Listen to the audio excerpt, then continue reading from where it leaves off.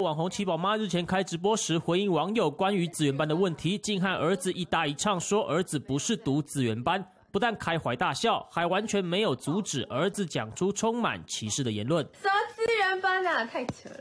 这样的离谱态度也让不少名人在脸书炮轰，觉得是最差的身教言教，是要灌输孩子什么样的观念？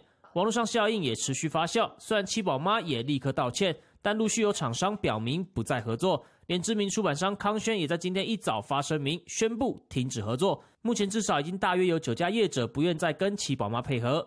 同整七宝妈争议，除了这次歧视资源班，先前还曾经疑似推销医疗用品被调查，同时还生食保育类山枪。不过这一次在教育孩子的观念上歧视资源班学生，显然引起了公愤。